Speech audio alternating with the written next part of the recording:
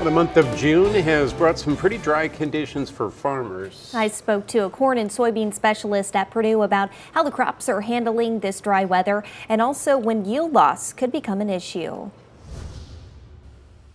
For the most part, the crops are okay, and I think it was due to the timeliness of planting. As they scout the fields, Dan Quinn and Shaun Casteel both agree the early planting season we had has helped the crops during this dry spell. Well, those crops were able to get established pretty well, good root growth, and then we kind of got into these dry conditions. Casteel says it's the same situation for soybeans. The ones planted early look decent thanks to the root system. When you go out and you see that your plants have been well established, you got roots that are down deep, you're in a good situation to weather the storm. Grandpa always said, I'd rather have a dry June instead of the dry August, and that's where we're at right now.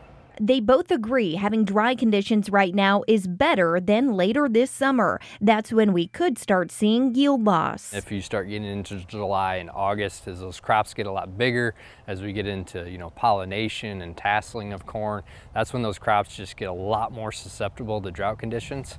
During this dry spell, the crops have had to adjust. They're depending heavily on their roots to get the nutrients and water they need. They're really trying to conserve soil moisture, what water they do have, so then they're not putting much into the above ground growth, but they're going down deep. They're getting roots down deep. For corn, Quinn says farmers will notice leaf rolling. It's actually a defense mechanism where it's just trying to prevent the amount of water loss from that plant. Quinn says you really have to keep an eye on what time of day it's taking place. You know, that drought stress is occurring, you know, in the mornings, day long. It might be three, four days in a row where that's occurring.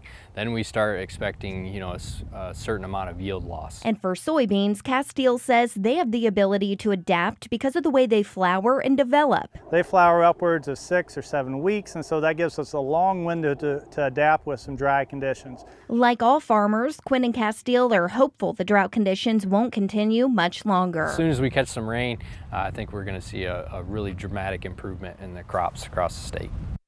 Well, the latest drought monitor map has Tippecanoe County under a moderate drought status.